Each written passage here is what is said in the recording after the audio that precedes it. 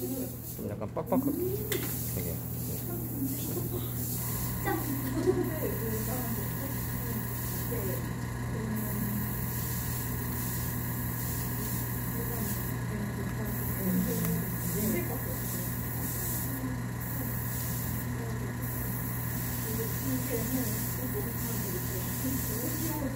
너무 힘들지 않아요?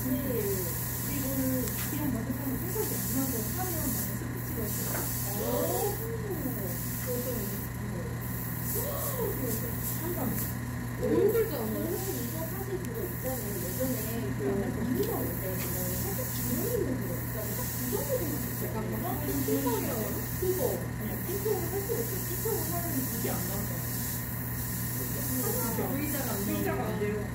그냥 그래서 원래 이게 잘 있는 게 아니라 그냥 한 큐큐 정도만 있는 거라 생각을 했거든요. 사실 11에서 분열이 다 안 됐거든요.